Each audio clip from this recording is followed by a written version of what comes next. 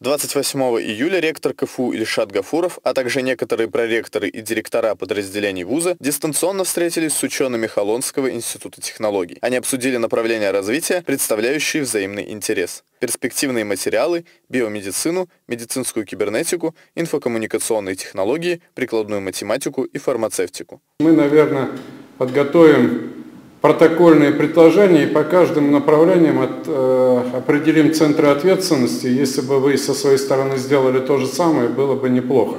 И они бы вот э, большие или малые конференции в своих предметных областях провели, по крайней мере, э, до полного открытия границ, когда мы могли встретиться и увидеть и университеты, и лаборатории, и познакомиться еще с рядом коллег, которые э, были бы взаимно полезны друг другу. Президент Холонского института технологий Эдуард Якубов высоко оценил разработки Казанского университета и высказался за организацию визитов КФУ для обмена опытом после стабилизации ситуации в мире. Ильшат Гафуров эту идею поддержал. Большое спасибо за этот отклик.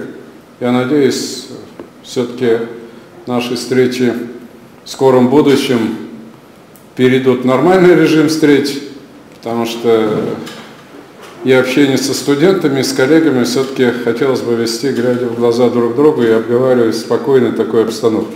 Камиль Гемоздинов, Булат Садыков, Универньюз.